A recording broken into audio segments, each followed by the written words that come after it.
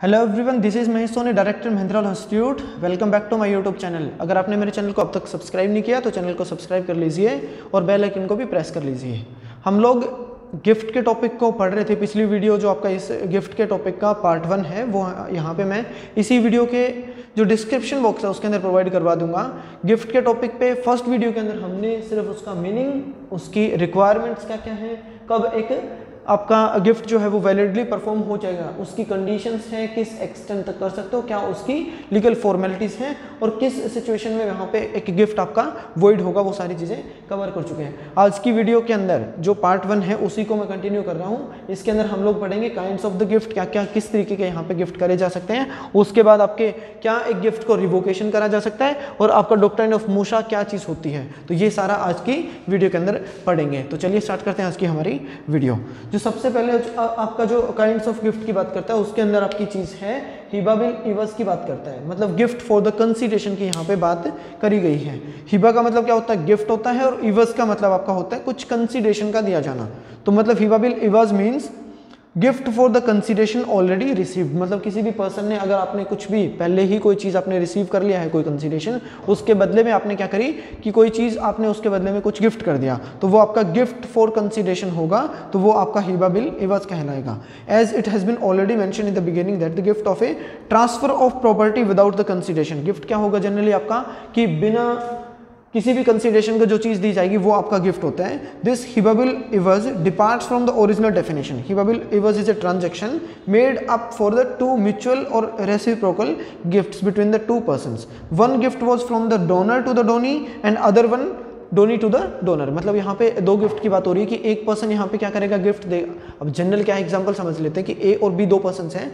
ये वाला जो ए पर्सन है, वो बी को बोलता है कि मैं आपको कुछ गिफ्ट दूँगा। अब जो बी पर्सन है, वो बोलता है कि आप अगर मेरे को गिफ्ट दोगे तो यहाँ पे मैं आपको कुछ गिफ्ट दे दूँगा। तो ये सिचुएशन है कि आपका क्या कर रहा है? वही वर्षा एक पर्सन दूसरे को और दूसरा पहले वाले पर्सन को यहाँ पे कुछ चीज़ दे रहा है। तो ये वाला जो पर्सन है, जो चीज़ लेगा, इसके लिए क्या बन गई? यहाँ पे ये कंसिडरेशन बदल है। अब इसके बदले में इसने कुछ गिफ्ट करा।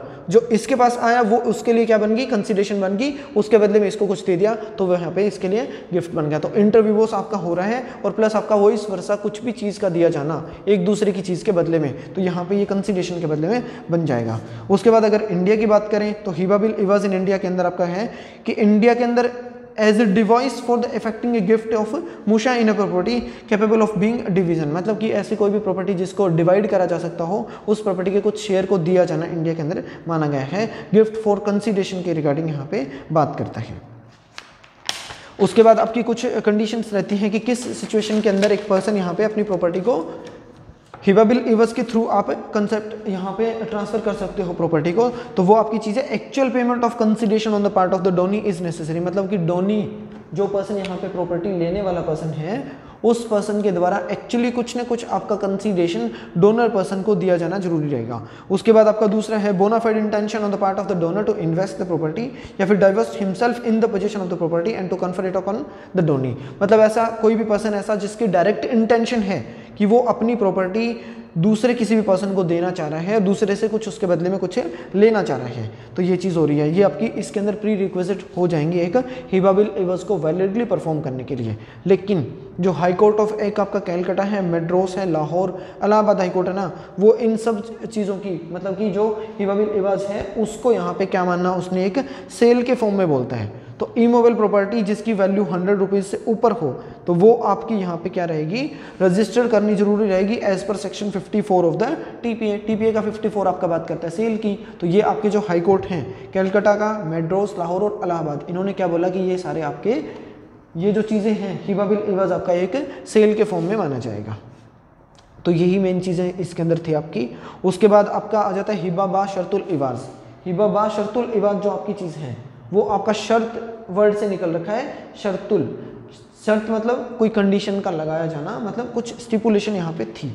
शर्त मीन्स स्टिपुलेशन द हिबाबुल शर्तुल इवाज means a gift made with the stipulation for a return अब इसके अंदर आपका है, जैसे कि हिबाबिल इवाज था, उसके अंदर पेमेंट ऑफ़ कंसिडरेशन है, वो आपकी एक तरीके से हो सकती है पोस्टपोन करी जा सके, कि मतलब जो कंसिडरेशन आप दोगे, मेरे को बाद में दे देना, मैं आपका प्रॉपर्टी अभी गिफ्ट कर देता हूँ, लेकिन जो यहाँ पे शर्तुल इवाज है जो इसके अंदर आ रहा है उस केस के अंदर क्या रहेगा? As the consideration is not immediate the delivery of possession is essential वो तो आपके पुराने में था। The transaction become finally final immediately on the delivery of the possession when the consideration is paid it assume the character of the sale and is subject to the preemption शुपा का property एक तरीके से part बन जाता है। मतलब बात हो रही है किसी शर्त का लगाया जाना इमीडिएटली आप पेमेंट करोगे साइड से आपको कोई चीज़ मिल जाएगी। तो एक तरीके से है तो सेल का कुछ पार्ट लेकिन वो हिबा बिल, हिबा बा शर्तुल इवाज के अंदर आ जाता है कि कुछ आपने शर्त रखी थी कि कोई कंसिडरेशन यहाँ पे मेरे को दोगे, तभी मैं आपको कोई चीज़ ट्रांसफ़र है जो करूँगा।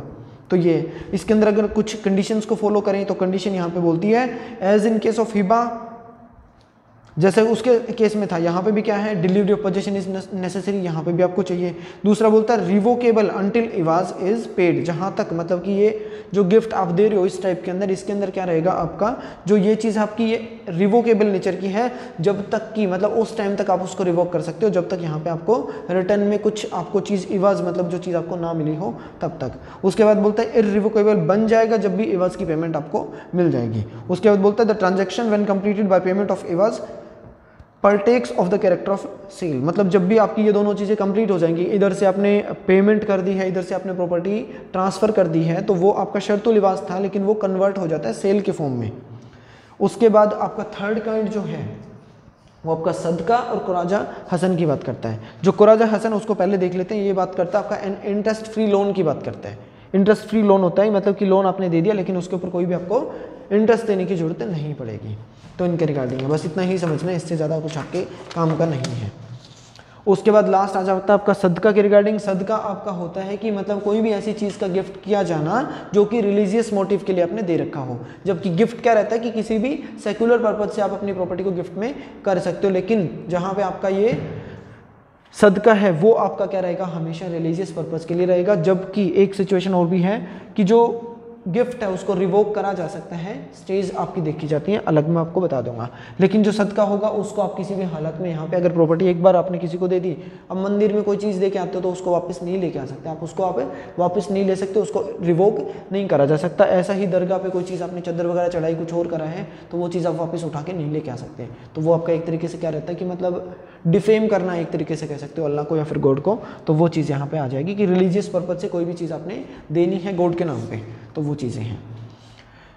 डिफर यही इसी वजह से करता है क्योंकि ये हिब्बा जो है वो सेकुलर है, ये आपका एक तरीके से रिलीजियस पर्पज़ के लिए दिया जाएगा। तो ये चीज़ रहती है। उसके बाद एक पॉइंट आपका आता है अरियत के रिगार्डिंग में बात कर रहा हूँ। अरियत का मतलब होता है ग्रांट ऑफ़ लाइसेंस और resumable at the grantor's option to take and enjoy the Yusuf of a thing called as अरियत। मतलब कि ऐसा कोई भी प्रॉपर्टी है जो आपने ट्रांसफ़र कर दिया, उसको यूज़ करने के पर्पज़ से तो वो आपको अरियत के अंदर आ जाएगा। जहाँ पे क्या रहेगा कि ओनरशिप ऑफ़ द प्रॉपर्टी जो है वो ट्रांसफ़र नहीं होती, सिर्फ़ यूसुफ्रुक्चरी राइट मतलब to use right to use आपका ट्रांसफ़र हो जाता है तो वो आपका अरियत के अंदर आ जाता है। It is to transfer the right to enjoy the use of the profits without any return मतलब कि कोई प्रॉपर्टी आपने ट्रांसफ़र कर दी है, उसका जो भी प्रॉफिट आएगा, उसको सिर्फ़ इंजॉयमेंट करने का राइट यहाँ पे ट्रांसफ़र किया गया है, ना कि प्रॉपर्टी का ओनरशिप और किसी भी तरीके के अदर रिटर्न के बदले में यह चीज़ नहीं दी गई है। उसके बाद आपका एक दुरल मुख्तार नाम के जूरिस्ट रहे हैं, उनकी एक स्टेटमेंट है to make a person the owner of the substance of a thing without the consideration is a Hiba while to take to make him the owner of the profits only without consideration is an अरियत मतलब कि अगर बात करें किसी की हिबा के regarding तो जहाँ पे आपके बिना किसी भी कंसिडरेशन को ट्रांसफ़र करें, जब आप ओनरशिप को ट्रांसफ़र कर देते हो तो वो गिफ्ट बन जाती है हिब्बा बोला जाएगा। जबकि यहाँ पे अरियत के अंदर क्या रहेगा? ओनरशिप ऑफ़ द जो आपके ओनर ऑफ़ प्रॉफिट है, वो बनाया गया है। मतलब कि आपने प्रॉपर्टी का ओनर ना बना के आपने सिर्फ़ क्या किया यहाँ पे? जो प्रॉफिट है, उसी को आपने क्या कर दिया कि यहाँ पे उसका ओनर बना दिया प्रॉपर्टी अपने पास रख ली तो वो आपके अरियत बने जाएँगे। ये आपका एक डेफिनेट पीरियड के लिए भी हो सकता है।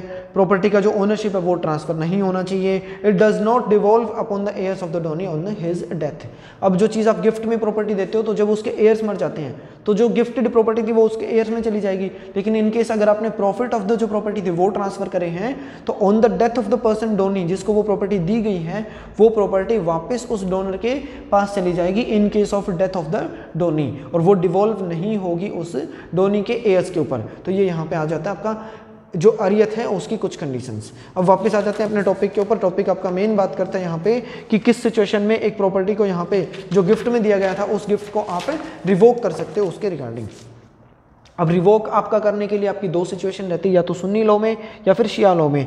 अब शिया लॉज के अंदर आपका डिक्लेरेशन ये चीज़ बताता है कि अगर कोई भी पर्सन ऐसा जिसने यहाँ पे क्या किया था प्रॉपर्टी गिफ्ट करी थी, वो अगर मैं डिक्लेरेशन दे देता है खाली, एक डिक्लेयर कर दिया कि मैं आपको ये प्रॉपर्टी वापस नहीं दे रहा। जी, अब ये प्रॉपर्टी मेरे को वापस चाहिए, ये प्रॉपर्टी मैं आपको नहीं दे रहा हूँ। तो वो आपका शेयर लो के अंदर बोलता है, जबकि सुन्नी में बोलता है कि ये थ्रू द कोर्ट ही करी जा सकती है। मतलब आप पहले अगर उसको कैंसिलेशन ऑफ़ द गिफ्ट करना है तो पहले आपको कोर्ट जाना पड़ेगा, वहाँ से एक डिग्री ऑप्टेन करनी पड़ेगी और प्लस जो डोनी पर्सन है, उसकी भी कंसेंट आपको फ्रीली कंसेंट आपको ऑप्टेन करनी पड़ती है। तब जाके आप अपनी प्रॉपर्टी को यहाँ पे गिफ्ट जो आपने कर रखी थी, उसको यहाँ कैंसिल कर पाओगे।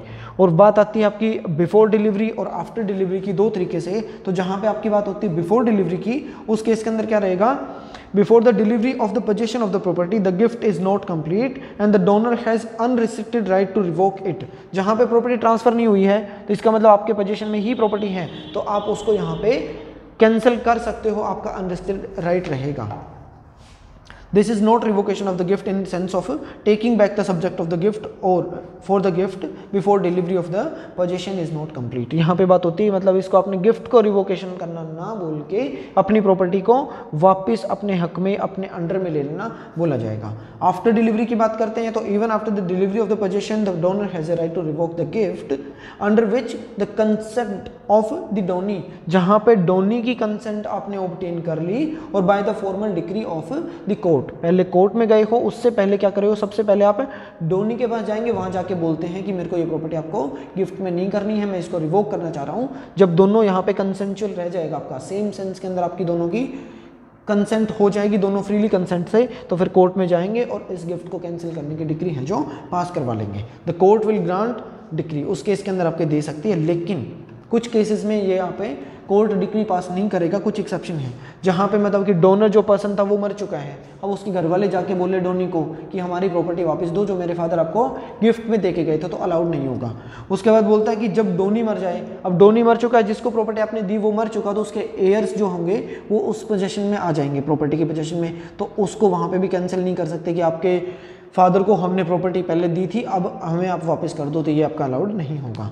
उसके बाद आपका बोलता है कि कुछ आपके, कुछ पर्सन आपके जो कॉन्सनगनिटी में या फिर प्रोहिबिटेड डिग्री के अंदर फॉल करते हो, इस तरीके से कुछ हो सकते हैं, या फिर मैरिटल ऑब्लिकेशन के अंदर मतलब कि मैरिटल रिलेशनशिप के अंदर आती हो तो उन केसेस में आ सकता है। या फिर सदका की बात करें तो जहाँ पर आपका रिलीजियस पर्पज़ के लिए आपने कोई भी प्रॉपर्टी यहाँ पे आपने दे दी थी तो उसको भी आप एक तरीके से कैंसिल है, जो नहीं करवा सकते हो तो ये यहाँ पे आपके रिवोकेशन ऑफ़ द गिफ्ट के अंदर आपके दो टॉपिक थे बिफोर डिलीवरी और आफ्टर डिलीवरी अब आपका लास्ट टॉपिक आ जाता है अपने एक तरीके से, जो बात करता है अपनी मूशा के रिगार्डिंग अब ये मूशा क्या चीज़ होता है? मूशा आपका होता है किसी भी पर्सन का कोई भी जो अनडिवाइडेड इंटरेस्ट है प्रॉपर्टी का, या फिर अनडिवाइडेड शेयर की बात करते हैं। मीनिंग में जनरली कि undivided share in the property property के अंदर जो भी आपका हिस्सा है, जिसको अभी तक बांटा नहीं गया जॉइंट फैमिली के अंदर जो भी प्रॉपर्टी रहती है ना, जैसे तो उनके रिगार्डिंग बात हो रही है। तो ये यहाँ पे रहते हैं। लेकिन हिदाया यहाँ पे क्या बोलती है कि a gift of the part of thing which is capable of division is not valid unless the set part is divided off जब तक कि मतलब कोई ऐसी प्रॉपर्टी है जिसको अलग किया जा सकता है, लेकिन आपने अलग नहीं करा है तो तब तक उस प्रॉपर्टी का गिफ्ट है जो नहीं करा जाएगा। तो ये आपकी मानी जाती है यहाँ पे।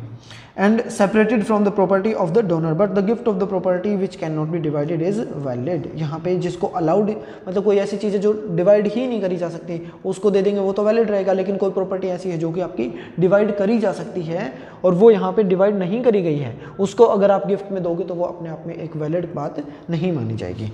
मीनिंग के अंदर बात करें तो जो आपका मुशा वर्ड है, वो मुशा वर्ड आपका निकल के आया है सायु वर्ड से। अब ये सायु है, उसका मतलब होता है undivided share in the property the rule as to the मुशा as laid down in Hidaya वही सेम चीज़ कि अगर एक गिफ्ट ऑफ़ द प्रॉपर्टी आपका है पार्ट ऑफ़ द प्रॉपर्टी है, वो केपेबल ऑफ़ डिवीज़न है, वो आपका इज़ नॉट वैलिड होगा unless the said part is divided off and separated from the property of the donor whereas the gift of the individual thing is valid ये आपकी same बात रहती है। अब अगर काइंट्स की बात करेंगे और एक हनाफी स्कूल है वो, यहाँ पे क्या कर रहा है? सिया और सुन्नी के अंदर आता है। हनाफी जो स्कूल है, वो आपके इसको रिकोगनाइज नहीं करते हैं मूशा को। ये आपका पेटे का पॉइंट है जो हो सकता है। उसके बाद आपके काइंट्स के अंदर आएँगे तो मूशा in a property incapable of division की बात करें कि ऐसी कोई प्रॉपर्टी आपकी इन डिवीज़न